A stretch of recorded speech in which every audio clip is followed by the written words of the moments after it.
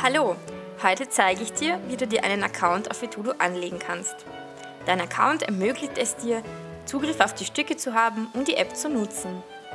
Du hast per E-Mail, Messenger oder ähnliches einen Link bekommen, zum Beispiel von deinem Direktor oder dem Etudo-Team. Falls du den Link nicht bekommen hast, frag doch bitte bei deinem Direktor nach. Dein Link schaut in etwa so aus.